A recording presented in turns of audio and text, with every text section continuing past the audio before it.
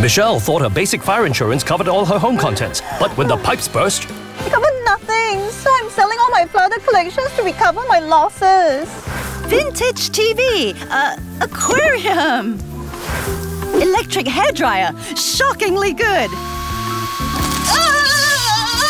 don't be like Michelle. Get all the things you love at home insured for as little as $31 per year. Get covered now at fwd.com.sg and it could save you thousands.